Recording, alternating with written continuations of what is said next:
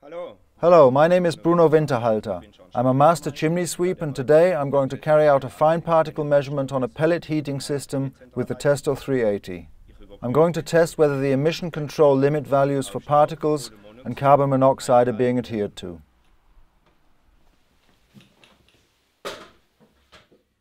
I open the case and lock the lid. I then connect the preheating section.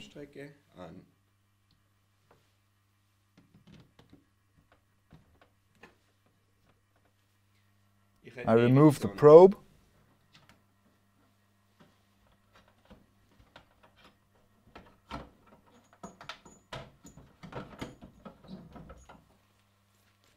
I connect the raw gas hose and I connect the measurement gas hose to the preheating section and make the contact between the probe and the measuring instrument. I connect the power supply and switch on the measuring instrument. I confirm that I want to carry out a fine particle measurement with OK and decide on an acceptance inspection. Before each measurement I carry out a tightness test and close the sealing cap on the air outlet aperture and on the probe.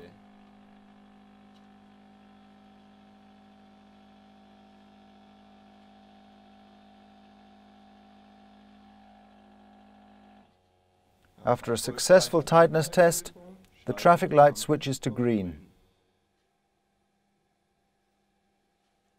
I close and remove the sealing caps and confirm with OK. I then go back to acceptance inspection and can confirm that the tightness test has been carried out successfully. Following this, I select a fuel. I can move down with the arrow and confirm that we are dealing with wood pellets and confirm with OK. During the stabilization time, I can adjust the individual parameters. Once all the parameters have been changed, I can start the zeroing with the Continue button and insert the probe into the gas flue.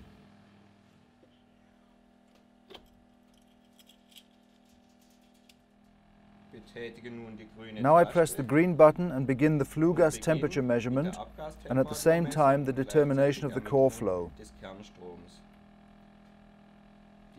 Draft zeroing starts and the flue draft is measured.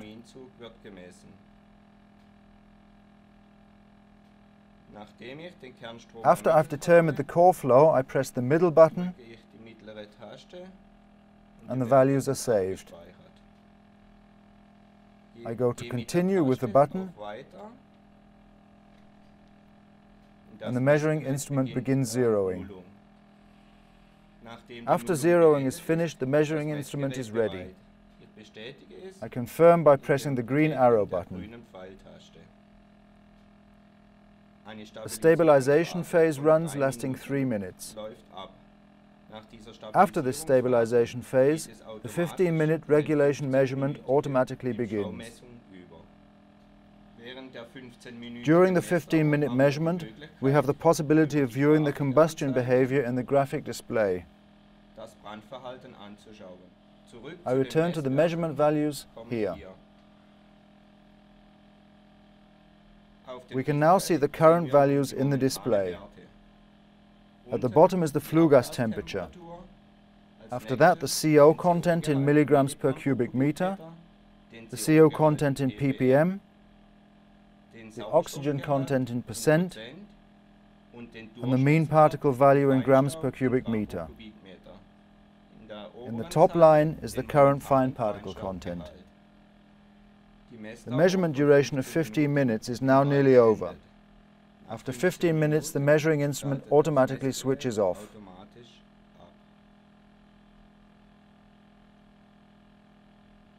I'm given the instruction to remove the flue gas probe from the gas flue and to prepare it for flushing.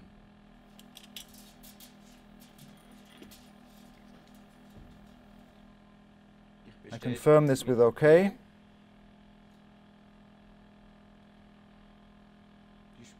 Flushing has begun and will take about two minutes.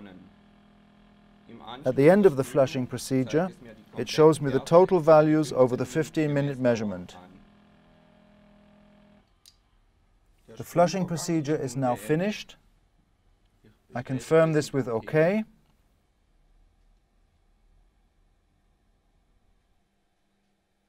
The measurement values after the 15-minute measurement duration can now be read off. The Federal Emission Control Law prescribes two limit values. The CO content in grams per cubic meter, which we can read here, the tolerance has already been subtracted.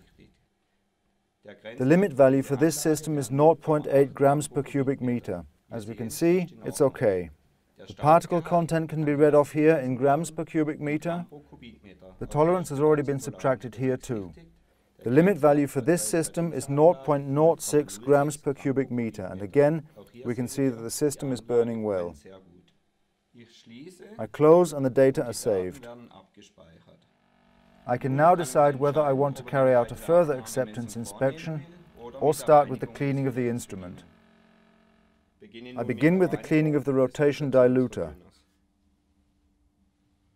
To do this, I open the cover at the rear release the locking mechanism,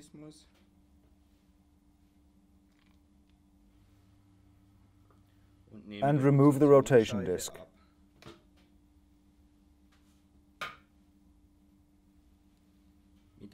I clean the rotation disc with a Q-tip which is moistened with distilled water.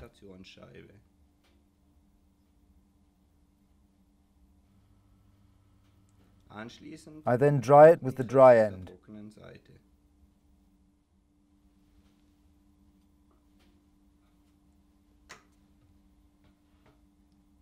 The cleaning process is carried out here too.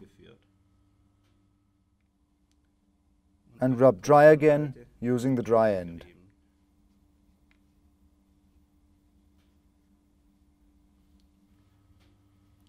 Once a visual check shows that everything is clean, you replace the rotation disc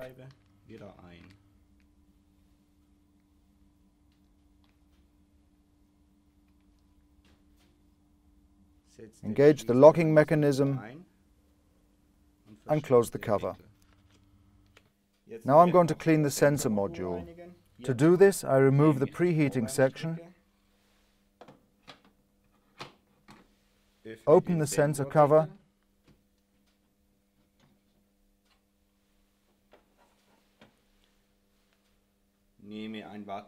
take a Q-tip and try to clean it with a light pressure.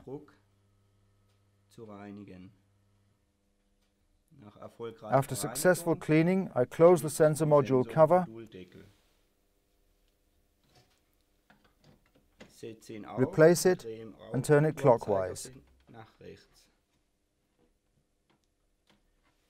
Seal it with the protective cap.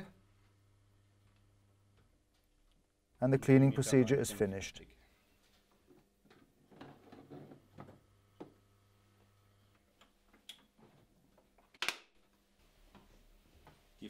The fine particle measurement with the Testo 380 is successfully finished. As you can see yourself, the limit values prescribed by law have been adhered to.